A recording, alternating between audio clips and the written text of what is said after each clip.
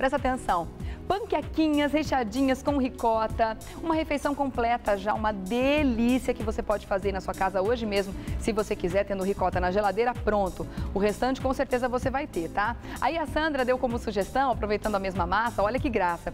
Ela fez aqui umas sobremesas, olha, com geleia de morango, os morangos, que a gente está encontrando bastante agora, né, nos mercados, olha, e um ganache, né? Você derrete aí um chocolate com creme de leite e faz umas panquequinhas pequenininhas. E olha que delícia que fica, gente. Muito bom, né?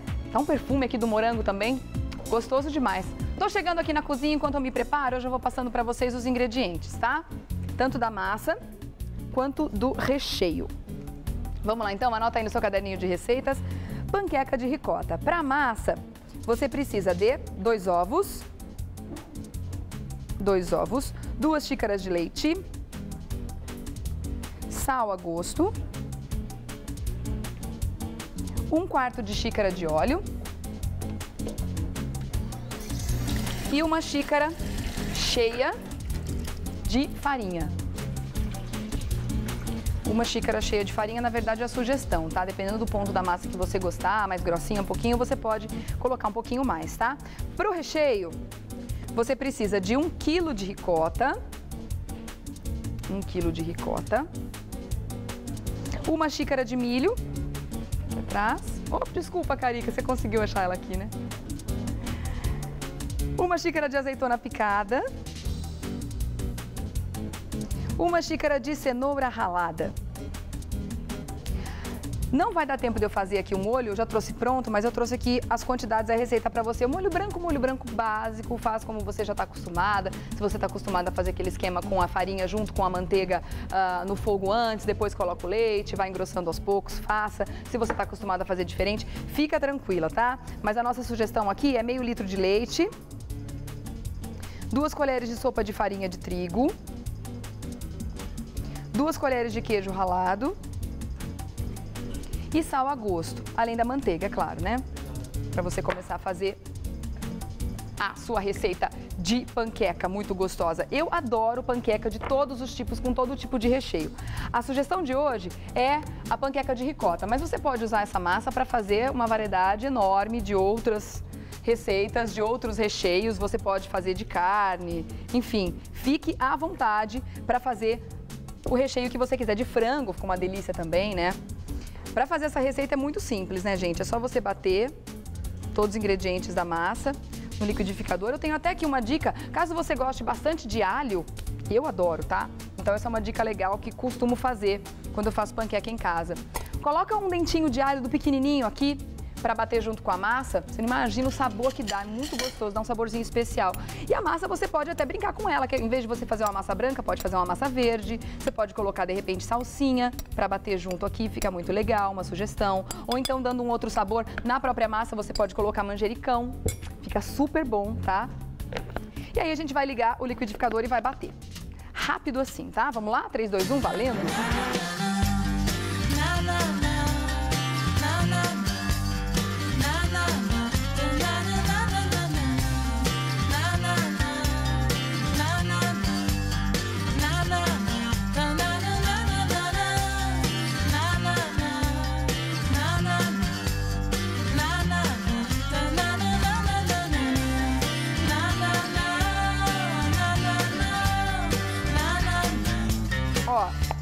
Rápido assim, gente.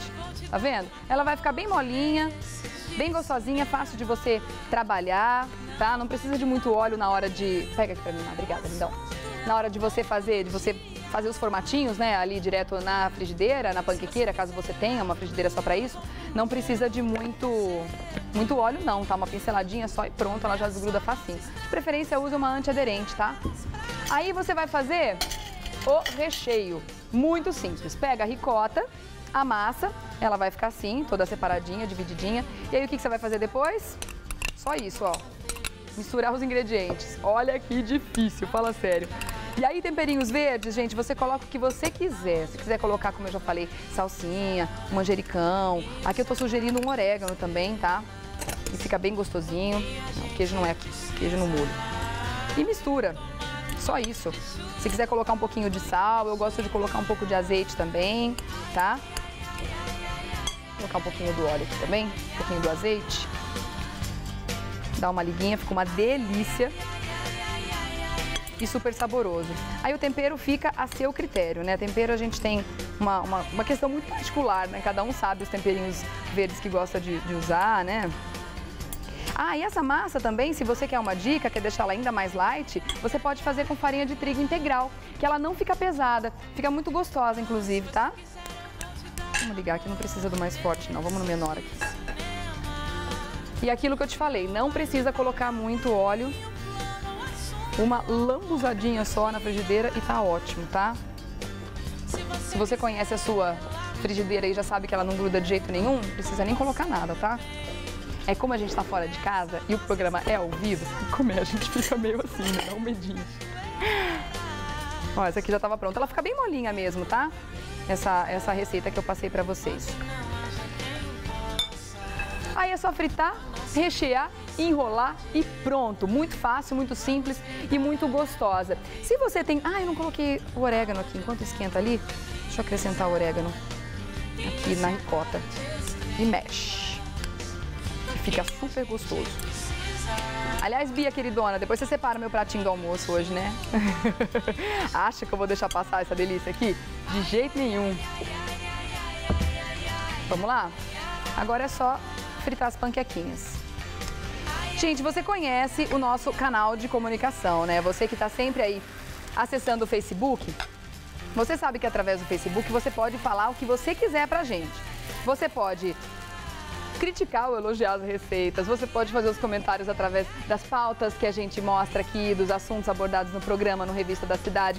E eu peço também que vocês me ajudem com sugestões de receitas. O que você quer ver aqui no Revista da Cidade? Principalmente às sextas-feiras, que é o dia que a gente vai para a cozinha junto, você pode sugerir, tá? É só entrar lá no Facebook e colocar Revista da Cidade, que você acessa a nossa fanpage. Já aproveita dá uma curtidinha por lá também e pronto. E aí você fica assim, ó, conversando, dizendo pra gente tudo o que você acha, não só do nosso programa, né? Mas também sugerindo coisas novas. A gente sabe que o programa, como é feito para vocês, é claro, né? Precisa da sua total participação o tempo todo, mas não só através do Facebook. Você pode também mandar seu e-mail para a gente através do nosso site, que é o tvgazeta.com.br barra Revista da Cidade. Lá também tem um e-mail direto para você mandar para a gente, ou então através do seu e-mail direto, você coloca lá revistadacidade@tvgazeta.com.br. Hora da verdade, hein? Virou, viu? Deu certo. Ele falou, olha. Adorei. Saiu, muito bem. Mas teve, ó, rufar dos tambores, mas não teve aplauso, Galdino. Eu não vi. Cadê? Não vai ter. Ele não quer me fazer feliz. Obrigada. Só um pouquinho? Foi o que mereceu? Tá bom.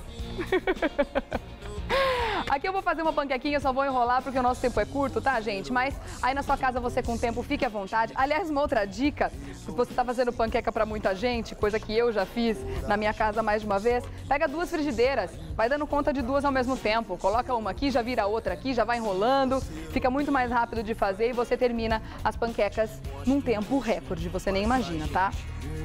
Ó, tá pronto, ó, tá descoladinha de baixo, tá prontinha. Agora eu vou pegar o prato aqui para colocar a massa. E aí você vem e recheia. Como é que você gosta da sua panqueca? Bombando de recheio? Eu sou assim, pra mim tem que ser bombando mesmo, nada de miséria. Pode colocar bastante recheio, que fica uma delícia.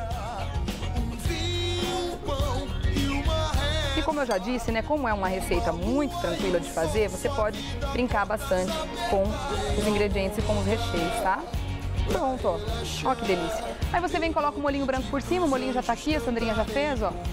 Ó que delícia. Tá vendo? Coloca o molinho por cima, aí é só correr para o abraço. Ó que delícia.